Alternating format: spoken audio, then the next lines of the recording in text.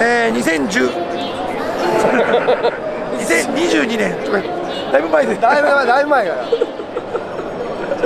えー2018年、えー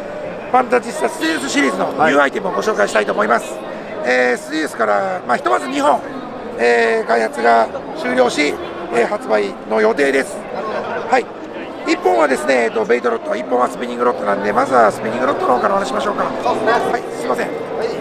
まあ、スピニングロットはですね、えーとこれ FNS64SULS っていうロットです、えーまあ、SULS ってこれすごい品番ついてるんですけども最近ねこれファンタジスタでよく見る品番なんですがこれ実はね僕が考えた品番です。なるほど。えーっとねスーパーウルトラライトソリッドっていうこんな品番本当はありませんよね。ですよね。はい。めんどくさいです。めんどくさいですね。でもね結構ねあのやばいでもこの今品番あるし。はい。まあ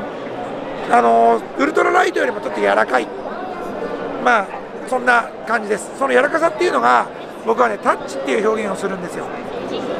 えーっと呼吸を止めて1秒。呼吸を止めて1秒。それ関係ないな。えーっとタッチですタッチ。あのタッチタッチここにタッチ。こうねこれが世界じゃないと分かりません。はい、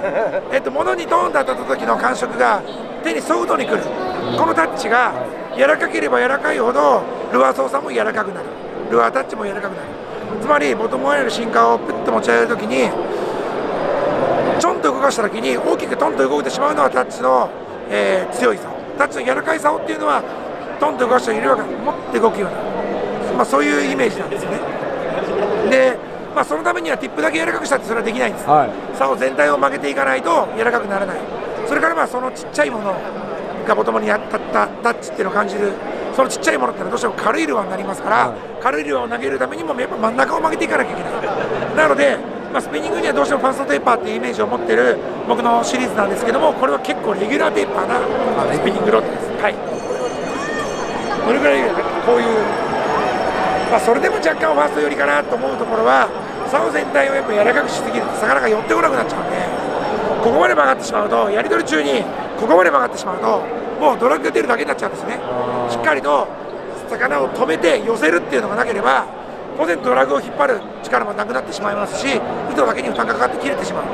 でかい魚を上げるためにやっぱ竿が粘らなきゃいけないんですね。そのためにちょっとファーストテーパーに寄ってるようにも見えますけども僕の中でかなりレギュラーテーパーなロットです。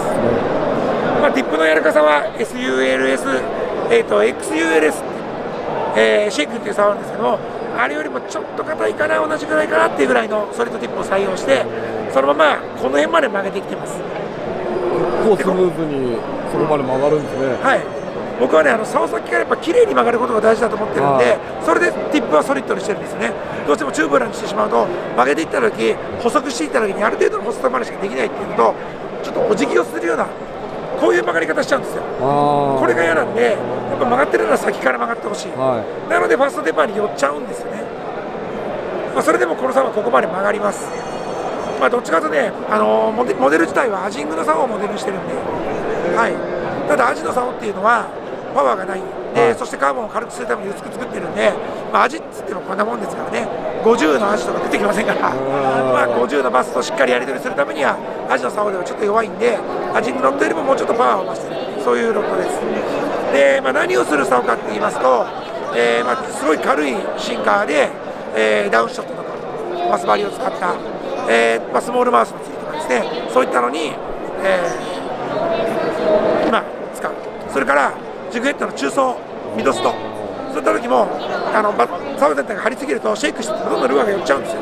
それを寄らないぐらいのスピードでシェイクできるので、それぐらいのたるみを持って。それから水面のピクピクも同じですね。ピクピクピクピクしてても、竿が硬いとどんどんどんどんルアー寄っちゃうんです。これはルアーを止めたところでピクピクできる。まあ、そういったことができるロットだと思ってます。小森さんの釣りだと一番何月期のか、まあ、亀山でいうと何月期に使うことが多くなる竿になる。亀山ですと、もう5月の末から、あピクピクはい、ピクピクですね、はい。それから夏場の、えー、脳神経トゥイッチ、はい。それがもう、ホローベリーのサイズで組まなくなっちゃって、ホローベイビー投げたいなと思ったら、こっちになってくるかなと。思ってます。あとは夏のヒバラゴ、はい。夏から秋にかけてのヒバラゴ、野尻湖、まあ、そういったところで活躍すると思います。ありがとうございます。そういったロットです。これコードネームはね、スーパーソフトっていう、はい。とても安直な名前がついております。あのー、分かりやすくしてみました、はい。すっごいソフトなタッチで持ってほしいなと思ってます、そういうラップです